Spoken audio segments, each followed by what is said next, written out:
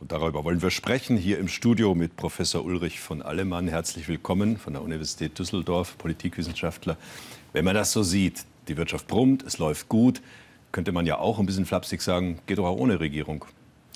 Ja, es gibt ja immer noch eine geschäftsführende Regierung und zwar von derselben Marke wie die beiden, die jetzt verhandeln. Nämlich eine große Koalition ist noch geschäftsführend im Amt und diese guten Wirtschaftsdaten sind vielleicht nicht ganz ohne Zukunft ohne Zutun äh, der jetzigen äh, vier Jahre amtierenden Regierung zustande gekommen. Also es gibt also keinen Grund für die Koalitionäre, die jetzt verhandeln, in Sack und Asche zu gehen.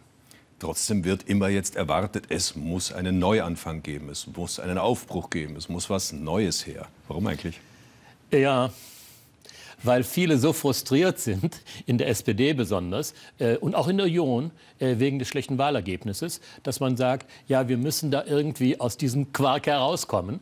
Äh, das ist aber aus dem Ausland betrachtet, ich beobachte auch immer die Presse international, oft wirklich ganz unverständlich. Denk, also denen geht es doch so gut in Deutschland, die sollten doch froh sein.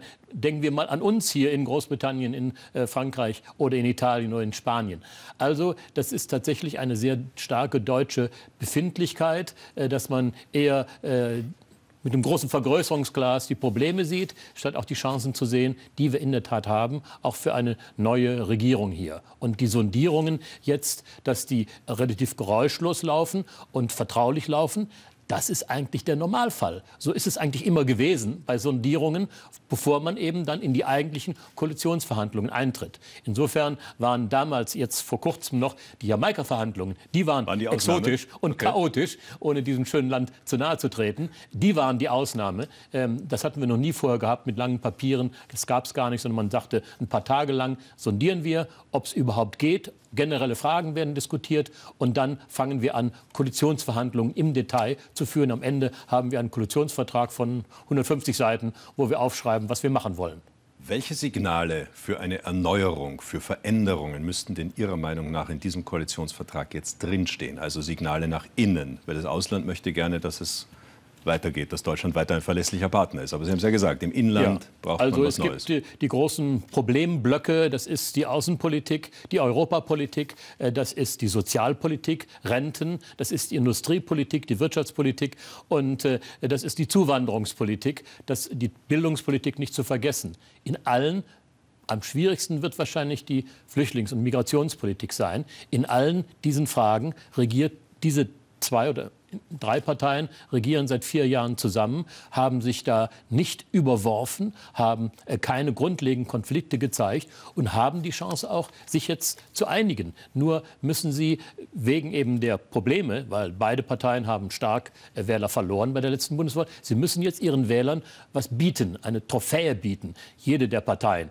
Die SPD muss was bieten haben. Das haben wir erreicht, um unsere Mitglieder zu überzeugen. Die Union äh, muss ebenfalls etwas bieten. Und das ist gerade das Problem. Die Union besteht aus zwei Parteien und sie müssen zwei Verschiedenes bieten.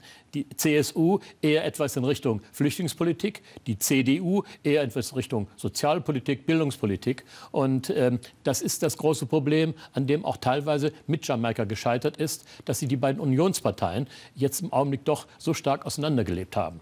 Sie haben es angedeutet, Flüchtlingspolitik ist und wird in diesen Gesprächen ein großes Thema sein. Äh, gibt es denn aus Ihrer Sicht da überhaupt Möglichkeiten, sich anzunähern, zum Beispiel beim Thema Familiennachzug, das ja das aktuellste in dieser Diskussion ist? Was man so gehört hat, ist, dass man sich in Bezug auf ein Einwanderungsgesetz einigen will. Und da steht gerade eben das große Interesse der deutschen Wirtschaft dahinter.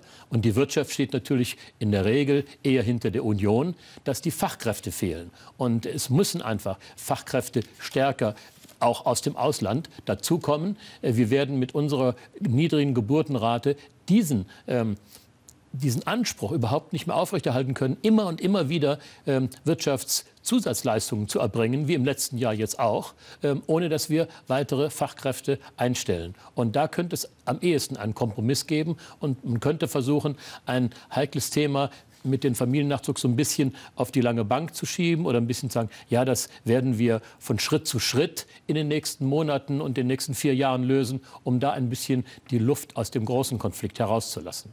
Womit Sie ja umgekehrt betrachtet ja durchaus den Rat geben in der Einwanderungspolitik, dass man jetzt den Aufwand betreibt und sich die Mühe macht, die Geflüchteten hier auszubilden, fortzubilden, ja. sich um sie zu kümmern, Natürlich. damit sie anschließend sozusagen ja. zum Wohlstand beitragen. Die, die Integration ist ein ganz großes Thema. Und bei der Integration, gerade in den Arbeitsmarkt, äh, vieler, gerade diese, diese jungen Leute, diese jungen Männer, die im Augenblick immer nur negativ dargestellt werden, als verhaltensauffällig, gerade die sind eine große Chance, wenn die schnell in ähm, äh, Bildungsmaßnahmen einbezogen werden, schnell und intensiv äh, Deutsch lernen und äh, die, die Betriebe, gerade auch die mittelständischen Betriebe, die Handwerksbetriebe, die ringen die Hände nach ähm, Arbeitskräften.